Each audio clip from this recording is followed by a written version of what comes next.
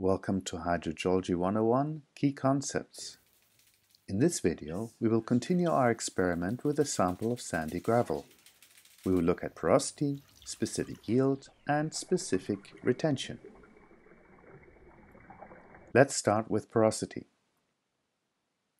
If we have a cubic meter of dry sandy gravel, we can calculate its porosity by measuring how much water we need to fully saturate it.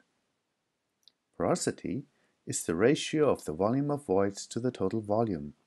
It is represented as little n and it is calculated by dividing the volume of voids by the total volume. The volume of voids that we have inside our saturated sandy gravel will be equivalent or actually equal to the amount of water which we've added to our dry sandy gravel. So we can calculate our porosity simply by dividing the volume of water by the volume of our sample. In our experiment, we added 0.16 kilograms of water to our dry sandy gravel in order to fully saturate it. That means that we added 0.16 liters of water to our sample. The volume of the glass is 0.577 liters, so now we can calculate our porosity, which is the volume of water we added divided by the volume of our sample, and it comes out at 0.28 or 28%. Note that this is quite close to our previous estimate of 30%, which we calculated from the density of the sample assuming that it is 100% limestone. Check out the previous video to see how we did this. Let's look at the specific yield. If we had a fully saturated sandy gravel and we let the water drain out under gravity, then the volume of water which drains out can be used to calculate the specific yield. The specific yield is the ratio or percentage of the total volume which can be drained by gravity. Specific yield is expressed as Sy and it is the ratio of the water drained divided by the total volume. In our experiment, 0.133 kilograms of water was drained out of our sandy gravel. So that means that the total amount of water drained is 0.133 liters because of course a liter weighs one kilogram.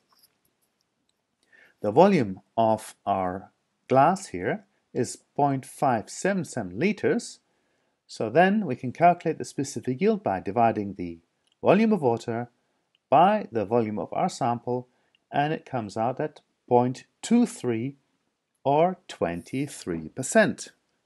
Now, if you remember, our total porosity was 28%. So what happened to the remaining 5%? To answer this question, we need to look at specific retention. A certain amount of water drained out of our saturated sandy gravel, which is called the specific yield. However, some of the water cannot drain out of the sandy gravel. It remains stuck to the sand and gravel particles by capillary forces. This is called the specific retention and it is defined as the ratio or percentage of the total volume which cannot be drained by gravity. We calculate the specific retention by dividing the volume of water retained, so that is this water here, divided by the total volume of our sample.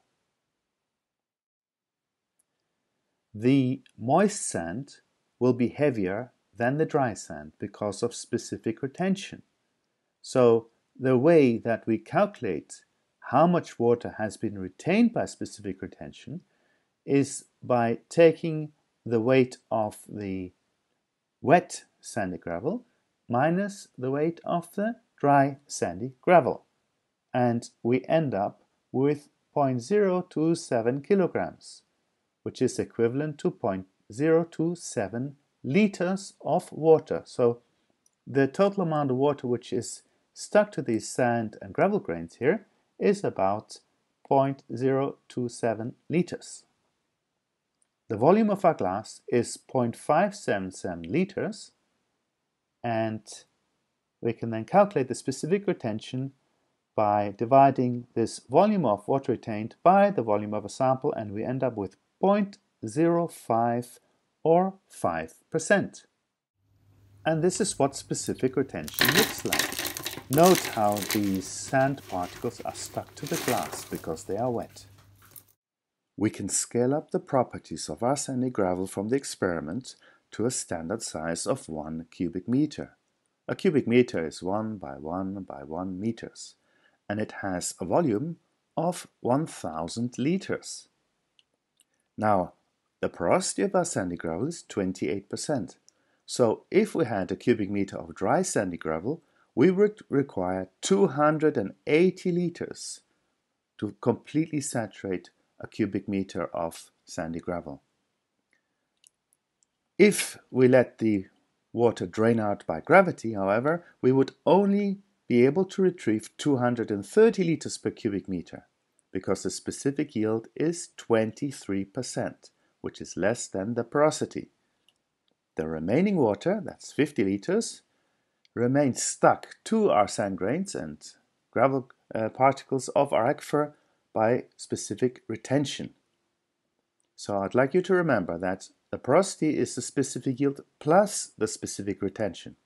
Or in the case of our sandy gravel, 28% equals 23% plus 5%.